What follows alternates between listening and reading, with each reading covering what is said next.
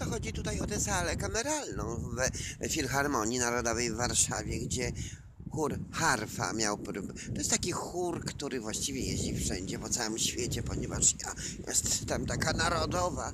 Chciałam tu się przyjąć do tego chóru, ale patrzę same stare dziady i baby. No to po co mam tutaj śpiewać w tej harfie? Po kościołach? Daj spokój, krycha! A tu Warszawa jest kościelna, linia mysia, nie ma tutaj prawosławnych, nie ma mormonów, nie ma ewangelików, nie ma świadków Jehowy.